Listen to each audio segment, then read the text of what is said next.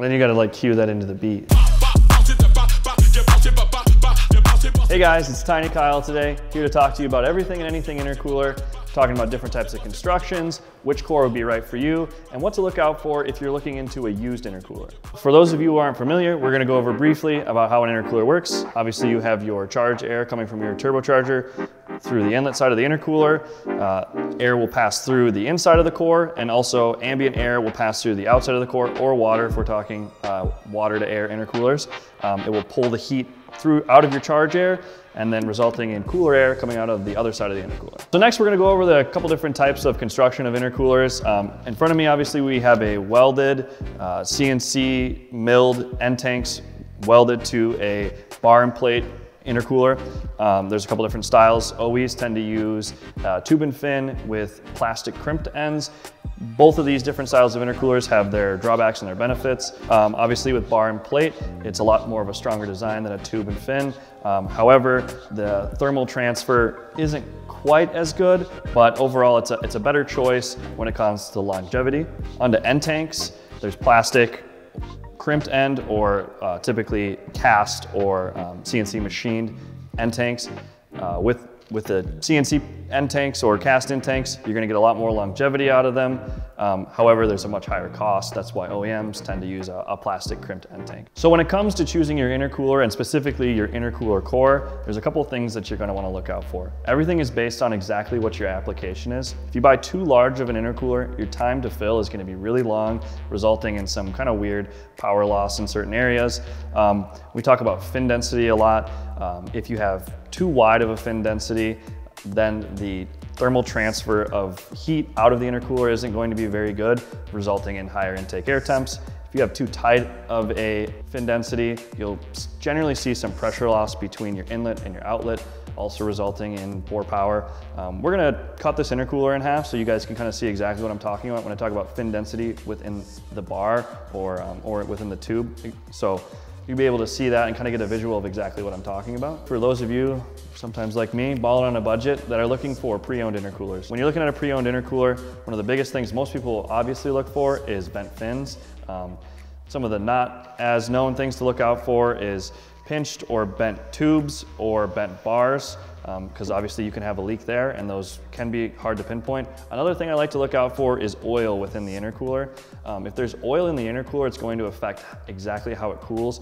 The air from the ambient air passing through the intercooler isn't going to be able to pull out the heat as easily. And also you could have some resistance inside of the intercooler resulting in more pressure loss. So with all that stuff out of the way, we're gonna go bring this thing over to the bandsaw, cut it in half and show you exactly what it looks like on the inside.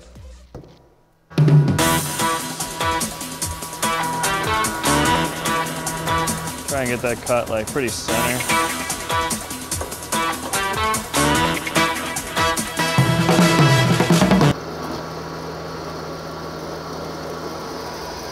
That SD card about to be filled up.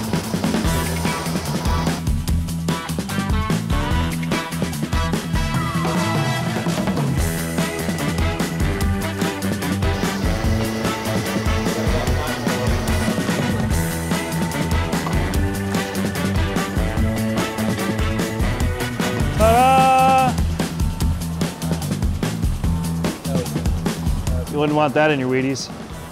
Can I see that? You can look. You, no, you can. You can see it. it's aluminum. It won't. It has to be steel to shoot sparks.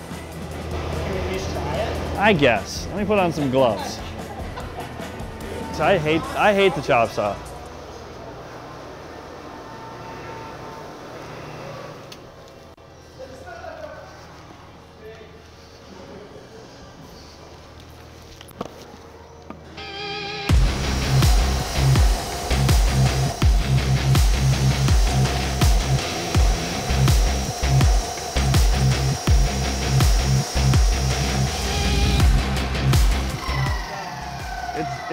Fogging up. Thanks for, thanks for It's fogging up. double protection. Well, I didn't know if this was the rated the same as this, so I wanted to make sure that I was safe. So what have you learned here? Well, we learned that I'm, a, I'm afraid of chop saws, and, I, and that you can, in fact, cut an intercooler now. What? Aluminum doesn't. And aluminum doesn't spark. Why is that? I don't know, man, science. So now you guys can obviously see a much better display of what's inside of the intercooler. There's obviously these bars that have a fin array inside of them as well to help promote heat transfer.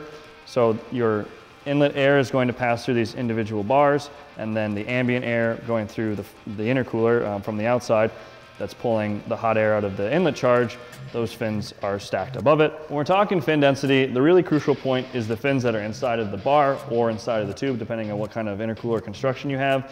These are going to dictate essentially what your power levels are and then also to um, what the pressure drop between each end of the core is going to be. With all that being said, uh, if you guys like this video, want to see us cut more things apart, want to see us explain more parts, how they work and kind of how to you know, shop around and figure out what part is best for you, let us know down in the comments. Um, with that, like, comment, subscribe. Peace out. See you later.